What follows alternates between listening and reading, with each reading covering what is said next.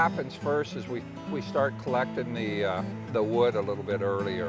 Uh, and a lot of times they come over and start uh, chopping up the wood on some nights and getting it split up a little bit, uh, just so that it'll burn in there. Because the whole trick is, is we try to light it at 6 o'clock and get it burned enough down so we can put it, cover it by about 10 p.m.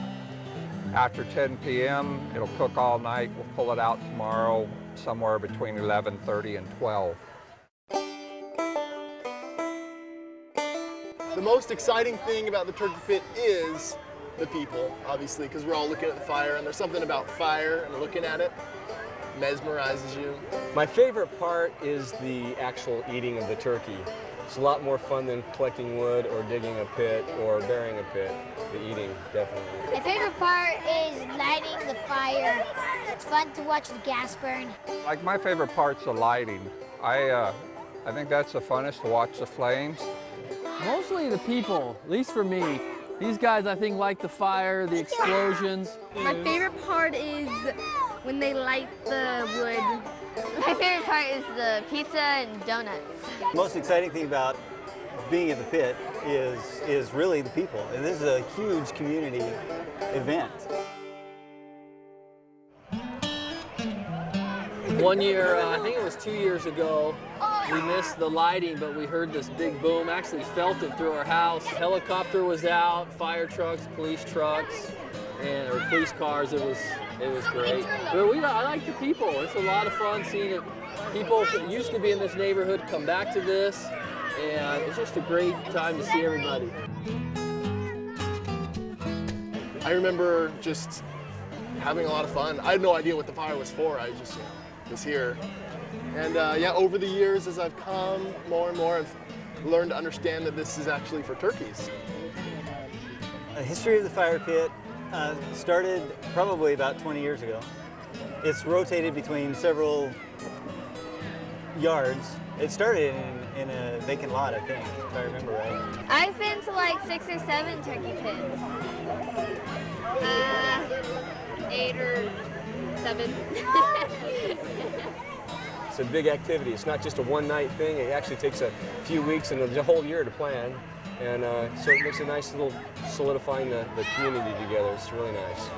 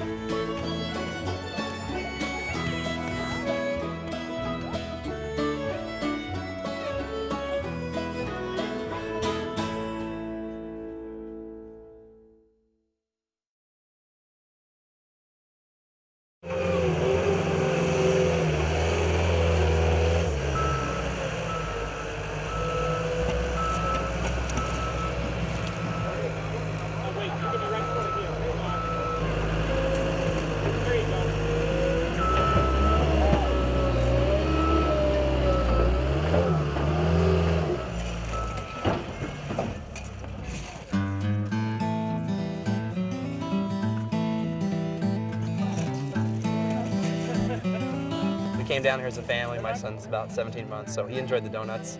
Uh, they uh, grabbed a little bit of pizza when they got here. Everybody was out here running around having a good time. So I was over there wrapping my turkey up and she was visiting with people and um, it was just fun to get a chance to talk to everyone. We actually go somewhere else for Thanksgiving, so this is just so we have our own turkey so that we can make turkey sandwiches and everything else because someone else keeps leftovers in the family. Well, this time my mom did barbecue pork because my uncle's bringing turkey, but it was just really, really simple and easy. She just like basted it and wrapped it all up, put it in the pit, and we were here to pick it up in the morning, and it was no time at all. Correct. yeah, I've been coming here for about eight years. Actually, for about nine years, because I actually came while my wife and I were engaged, so it was fun hanging out and uh, just enjoying enjoying the camaraderie and the neighborhood feel. Uh, just a great family family get together, family time, and uh, my favorite part of the turkey pit is the fire. Uh, definitely the lighting of the fire. There were a couple of uh, years where uh, we had some explosions. It was kind of fun, but we learn as we go, and you know, everybody, everyone enjoys themselves.